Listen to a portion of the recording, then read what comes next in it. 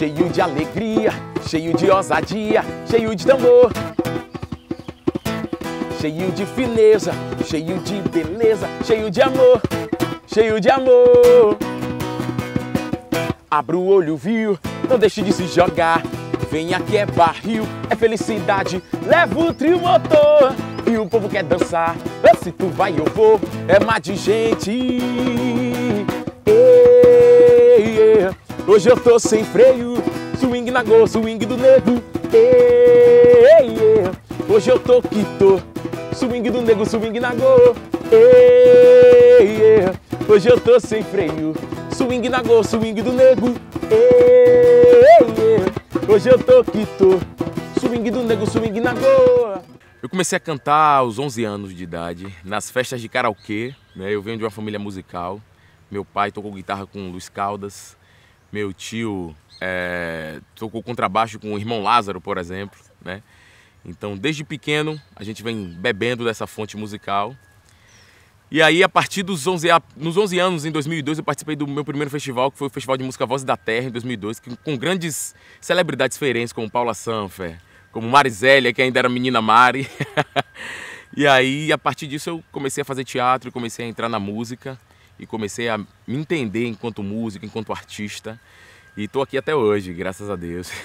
O que me chamou para esse caminho, acho que foi a ancestralidade latente, né? Eu que sou da Rua Nova e a gente é de um bairro muito muito musical, né? Desde do saudoso Jorge Angélica, enfim, de Honorina, Gilsan.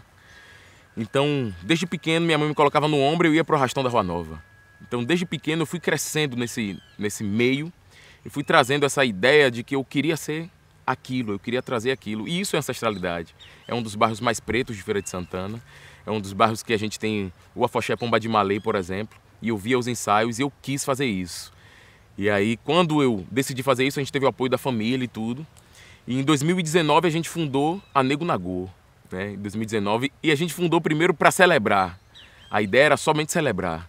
Depois que a gente trouxe essa ideia da ancestralidade, porque a gente achou celebrar ainda muito pouco. Falou, a gente podia ser mais profundo. E hoje a gente celebra a ancestralidade, né? então, a gente trouxe desde 2019 a Nego Nagô, já com essa perspectiva afro.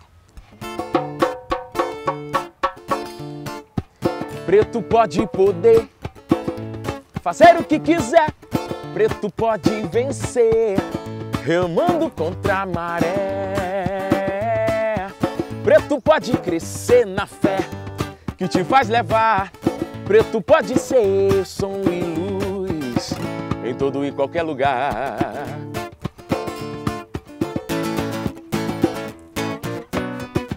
Sobe a ladeira, nego não deixa a tristeza chegar, coloca um sorriso na cara, meu preto, e vem pra cima, que o seu lugar é no topo do mundo. O seu lugar é no topo do mundo. Desce a ladeira, nego, e vem fazer acontecer. Vem suar, sorrir e sonhar. Vem amar, vem agradecer. Vem melaninar o que te faz endoidecer. Deixa eu melaninar você. Preto pode poder fazer o que quiser. Preto pode vencer, remando contra a maré. Preto pode crescer na fé que te faz levar. Preto pode ser luz em todo e qualquer lugar. O nome, é, o nego né? É um, um apelido carinhoso que a minha avó né, sempre me chama, né? O nego isso aqui, o nego isso aqui, né? Então a gente sempre brincou assim, ela sempre falou isso. E eu tinha muito orgulho disso, tenho muito orgulho disso até hoje. Né? Inclusive ela é minha estilista, ela que faz as roupas, enfim, tudo isso. que é ancestralidade também. Né? E o Nagô era aquele negro que falava né, Yorubá, mas é aquele negro iorubando, mas falava também português. Então, vinha com essa perspectiva desse diferencial, mesmo no momento em que eles estavam escravizados, mesmo em um momento em que a gente percebia que é, não era para se estar ali, naquele, naquelas conjunturas, e ainda assim ele tinha um diferencial. E eu comecei a pensar sobre isso. Eu falei, como é que nós vamos mostrar o que a gente tem de melhor, mas de uma forma diferente para as pessoas de Feira de Santana, né? Então, a gente resolveu unir, né? E aí eu que sou da Rua Nova, enfim, como a gente já falou, eu falei, poxa, como é que eu vou reverenciar esse bairro que eu amo tanto? Então o Nego Nagô veio dessa perspectiva de ser um nego, né? Que tem um diferencial e que vai levar isso para o público. E aí, com essa construção, a gente conseguiu angariar assim, muitos, muitas, muitos pensamentos e muitas energias positivas das pessoas. Inclusive, Ruiz, que é o nosso artista plástico que faz as nossas capas, ele falou, quando a gente estava conversando, ele falou, velho, o meu caboclo é nego. E aí ele tinha me dito que aconteceu uma coisa importante na minha vida e aí surgiu a Nego Nagu. Eu falei, então é isso que é importante da sua vida. E a gente começou a criar e construir isso juntos. Eu acho que a Nego Nagu é a, a melhor e talvez a maior construção coletiva que eu já tive. O primeiro desafio eu acho que é o próprio ser preto, ser negro, numa conjuntura em que a branquitude ela tende a, a dominar, né? Então a gente mostrar a nossa música, mostrar a nossa arte, mostrar o nosso ser é muito custoso e muito penoso. Nem sempre as pessoas abrem as portas, né? E a maioria não abre, né? Mas aí a gente, com a nossa resistência, enfim, a gente vai forçando essa abertura. E nem sempre a nossa música, por falar também de alguns, algumas peculiaridades que são nossas, algumas dores que são nossas, né? exclusivamente nossas, a gente acaba é, algumas, algumas músicas da gente acabam não sendo aceitas. Então, por exemplo, a gente já foi tocar em alguns lugares que a gente vai tocar o Ijexá e vai falar de Oxum, por exemplo, que é uma das músicas, uma das músicas assim talvez mais marcantes da Bahia que Jerônimo que interpreta. E já pediram pra gente não tocar. Já pediram pra gente parar de tocar. E aí eu me recuso a fazer isso porque é a minha ancestralidade. Se eu deixar de tocar, eu vou deixar de ser quem eu sou. Então, determinados locais, por exemplo, a gente já foi tocar e as pessoas pediram para parar. E como uma forma de resistência, a gente continuou tocando. E por incrível que pareça, o público aceitou muito, né?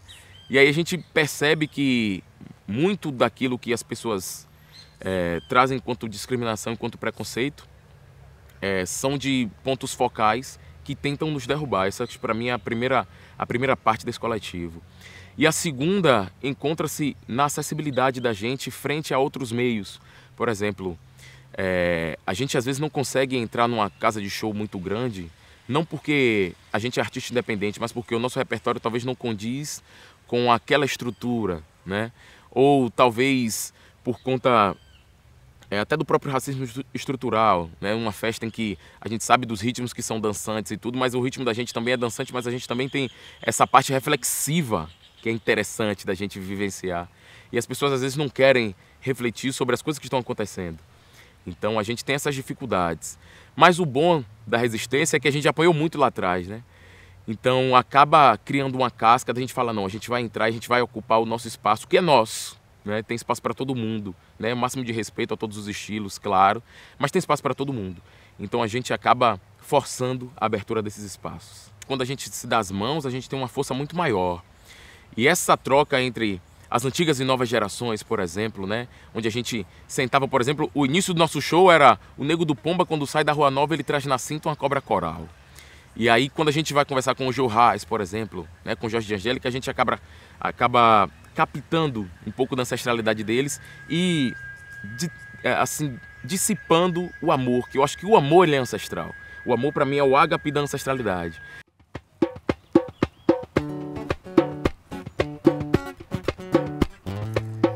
Toda vez que olho você dormir, eu sinto aqui dentro de mim uma luz que faz a minha pele arrepiar e suar quando dorme comigo de conchinha. E quando o perfume dos teus cabelos me faz viajar na cama e sem sair do lugar, de olhos fechados começo a voar me pega, me envolve em teus braços, me aperta, me leva em teu abraço. Deixei a porta aberta, vem mora comigo, me pega, me envolve em teus braços, me aperta, me leva em teu abraço. Deixei a porta aberta, vem mora comigo. Olá, ia, olá, ia, lá. Eu deixei a porta aberta, vem mora comigo.